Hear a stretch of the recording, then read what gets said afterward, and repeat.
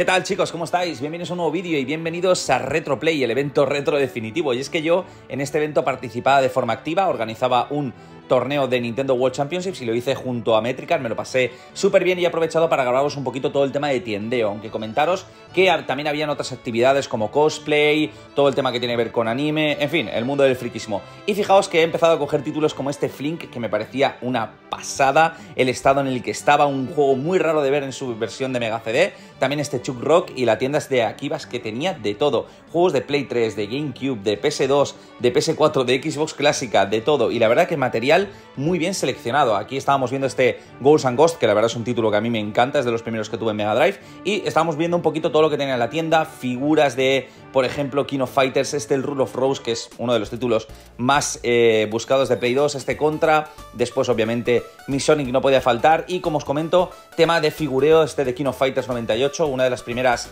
eh, diría, máquinas recreativas que jugué, y ahí estaba el dinero del que hace el retro. A modo cachondeo, podemos ver la caja que había hecho el retro, ¿eh? Nunca. Es que en lo que dan los videojuegos, ¿eh? Ahí está. Bueno, luego teníamos otras tiendas que también tenían mucho material de PlayStation 3, tenían ofertas de 3x2. Aquí podemos ver este R-Type que a mí tengo que comentar que no tengo casi nada de Super Nintendo, pero el día que vaya a Japón voy a traerme bastante Super Famicom porque me gusta mucho el formato de las cajas. Así que cuando vaya el año que viene, que ya tengo los billetes, os lo enseñaré. Aquí podemos ver más tiendeo a nivel nivel de Dreamcast, más cositas de Mega Drive. Una pena que el precio de Mega estaba muy alto y algunos de ellos estaban sin manual. Después Canadian hizo un unboxing y trajo todo este material, juegos como Carrier, juegos como Nightmare Creatures que me ha hecho ojitos, eh, un montón de material, pero también de Mega CD, de Mega Drive. Teníamos cosas precintadas de Nintendo DS, más cosas de PlayStation. La verdad que había una cantidad de material el que tú quisieras. También es cierto que habían precios para todos los gustos. Juegos muy buscados estaban a un precio elevado y juegos que obviamente son más comunes pues estaban a un precio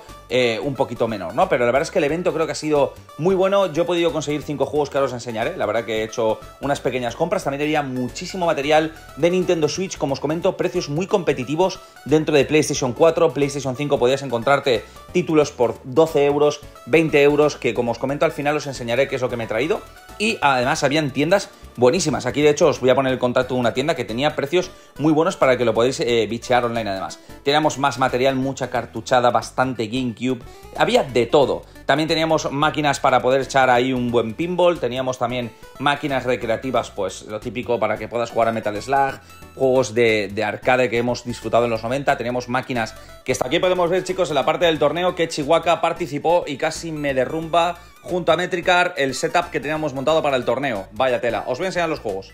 Y para terminar, chicos, añadimos estos 5 títulos a la colección. Uno de mi querida Sega Mega Drive, este Mystic Defender que vamos a enseñar el interior. Un Fahrenheit, un Oxide, que la verdad es juego de terror español tremendo. Tenemos Castlevania y también tenemos lo que viene a ser un juego de Wii U, que a mí la verdad que me hace ilusión tener en Play 4, que es el juego de Zombie. Y si queréis ver el interior de Mystic Defender, esto es lo que he añadido a la colección de Mega Drive. La verdad que es un título brutal. Así que espero que os haya gustado mucho, chicos, y nos estamos viendo en un próximo vídeo. Hasta la próxima, adiós.